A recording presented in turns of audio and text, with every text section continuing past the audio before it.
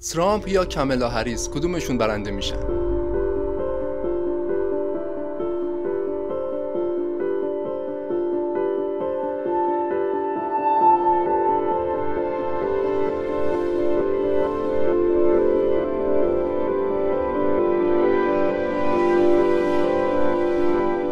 سیستم انتخاباتی آمریکا از یه روشی استفاده می‌کنه به نام الکترال کالج یعنی ممکنه تو انتخابات ریاست جمهوری یه نامزدی اکثریت مطلق مردم بهش رأی بدن ولی با این حال نامزد رقیبش برنده انتخابات بشه. تا حالا تو تاریخ آمریکا چند بار این اتفاق افتاده؟ تو انتخابات 2024 هم ممکنه این اتفاق تکرار بشه. ترامپ دفعه قبلی که رئیس جمهور آمریکا شد سال 2016 آراء مردمیش از هیلاری کمتر بود ولی به خاطر آراء الکترال بیشتر رئیس جمهور آمریکا شد. چجوری این اتفاق میفته تو این ویدیو می‌خوام توضیح بدم.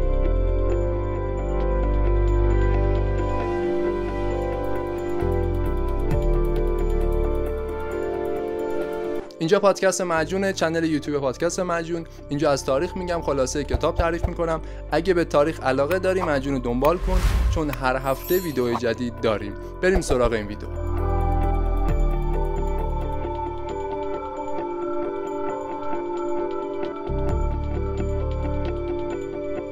خب قبل از اینکه شروع بکنم قبلش این توضیح رو بدم. کلا برای انتخاب رئیس دولت رئیس جمهور یا نخست وزیر تو کشورهای مختلف دنیا چند تا سیستم مختلف هست. یا نظام پارلمانی یا نظام ریاستی.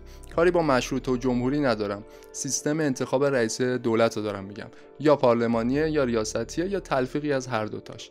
مثلا نظام انگلیس سیستمش پارلمانیه.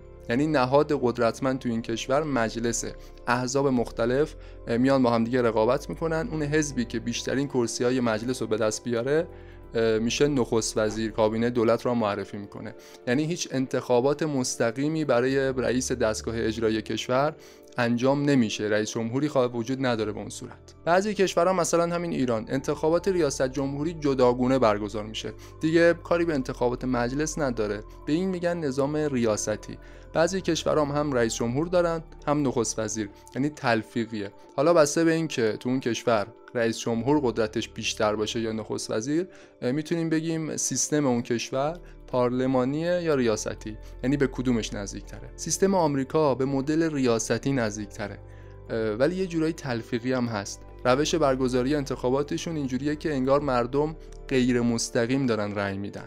بنابراین می‌تونیم شبیه نظام پارلمانی هم بدونیمش تو آمریکا می‌دونیم دیگه انتخابات کنگره برگزار میشه مجلس سنا مجلس نمایندگان آمریکا و حتی برای انتخاب فرماندار هر ایالت انتخابات جداگونه تو همون ایالت برگزار میشه اما انتخابات ریاست جمهوری که مهمترینشون هم هست چطوری انجام میشه Our country really has gone bad. It's gone bad. It's so sad. When you look at the things we're doing that, that we even have to say like men playing in women's sports, I don't think so. یه سیستمی وجود داره به نام الکترال کالج یا مجمع گزینشگران. 50 تا ایالت تو آمریکا هست. هر کدوم از این ایالت ها یه تعدادی رأی الکترال براشون در نظر گرفتن. بر اساس جمعیت اون ایالت. مثلا ایالت فلوریدا 29 رأی الکترال کالیفرنیا 55 تا. تگزاس 38 تا. نیویورک 29 تا و همینطور ایالت های دیگه. کلا 538 رأی الکترال وجود داره که در واقع کسی که می‌خواد رئیس جمهور آمریکا بشه حداقل حداقل باید 270 رأی الکترال رو از آن خودش بکنه. یعنی اینطوری توضیح بدم. مردم یه ایالت میرن به نامزد دلخواهشون رأی میدن. هر نامزدی تو هر ایالتی اکثریت آرای مردمی رو به دست آورد کل آرای الکترال اون ایالت میره تو سبد همون نامزد. یعنی فرض کنید مثلا تو تگزاس اگه ترامپ 55 درصد رأی بیاره هریس 45 درصد رأی بیاره کل 38 تا رأی الکترال تگزاس میره تو سبد ترامپ. دیگه نمیان این 38 تا رو به نسبت 55 به 45 تقسیمش کنن. همش میره برای نامزد برنده یعنی مثلا ترامپ. در واقع نماینده های الکترال کالج به نمایندگی مردم ایالتشون میرن به اون نامزدی رأی میدن که اکثر آرای مردمی رو تو اون ایالت به دست آورده. پس هر نامزدی تو هر ایالتی حتی اگه یه دونه رأی بیشتر بیاره میشه برنده انتخابات اون ایالت. و نماینده الکترال کالج هم میرن همه ی آرا الکترال رو میدن به همون نامزد.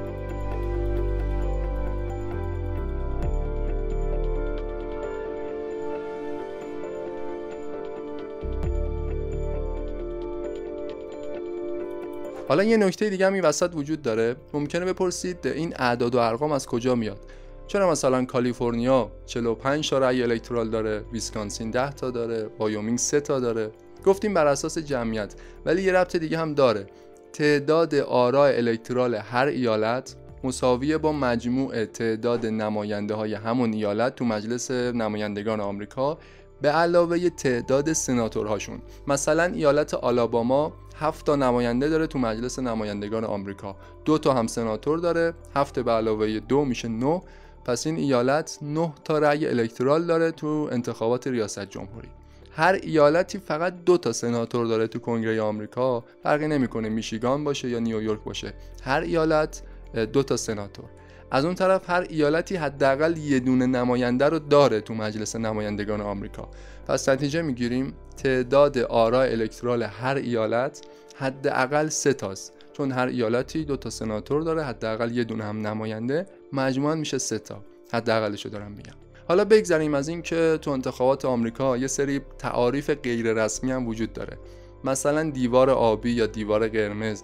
دیوار آبی به اون ایالت هایی میگن که معمولا طرفدار دموکراتان. مثلا ایالت نیویورک. تقریبا تو همه انتخابات ها نامزد دموکرات توی ایالت نیویورک برنده میشه. دیوار قرمز هم معلومه دیگه.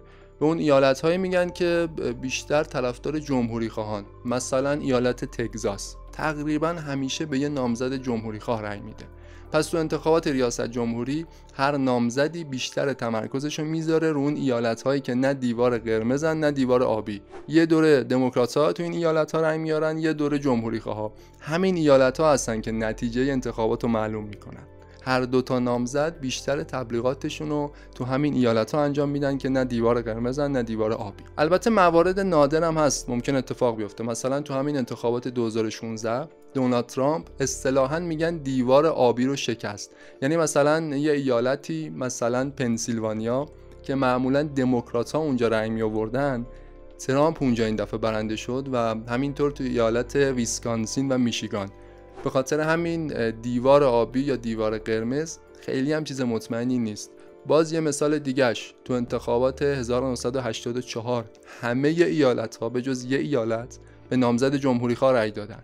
ریگان با 525 رأی الکترال تو این انتخابات برنده شد.